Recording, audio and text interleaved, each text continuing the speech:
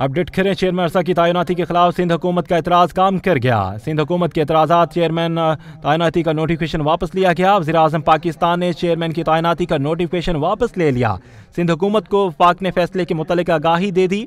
वजी अजम शहबाज शरीफ ने ज़फ़र महमूद को चेयरमैन अरसा तैनात किया था।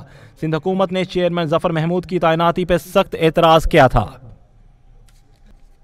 अपडेट करें, चेयरमैन अरसा की तैनाती के खिलाफ सिंध हुकूमत का एतराज़ काम कर गया। सिंध हुकूमत के एतराज़ा चेयरमैन तैनाती का नोटिफिकेशन वापस लिया गया। वजी अजम पाकिस्तान ने चेयरमैन की तैनाती का नोटिफिकेशन वापस ले लिया।